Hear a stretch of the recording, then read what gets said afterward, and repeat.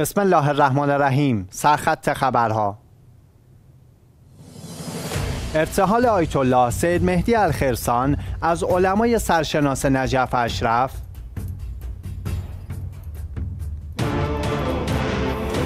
بنیاد جهانی آیت الله العظما شیرازی از کشورهای خاورمیانه خواست با ایجاد نظامهای دموکراتیک به فکر سعادت مردم خود باشند.